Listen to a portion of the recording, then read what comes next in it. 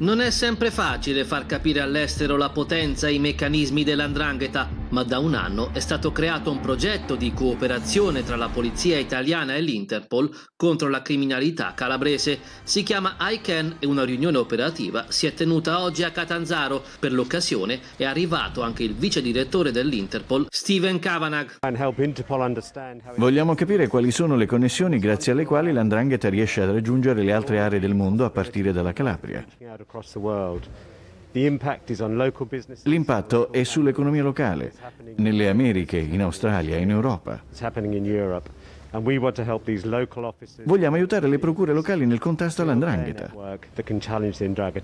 Il progetto ICANN coinvolge 10 paesi, dalla Germania agli Stati Uniti, che hanno costituito unità operative dedicate alla lotta all'andrangheta. L'arresto di Mark Ferenclaude a Santo Domingo, ritenuto fornitore di droga dei Cacciola di Rosarno, è stato solo l'ultimo atto. La progettualità ICANN è una progettualità che ha dato già molti risultati, molti latitanti sono stati localizzati in giro del, per il mondo contro una minaccia globale, una lotta globale. Incontro operativo, le prossime mosse nella lotta all'andrangheta nel faccia a faccia con Giovanni Bombardieri e Nicola Gratteri.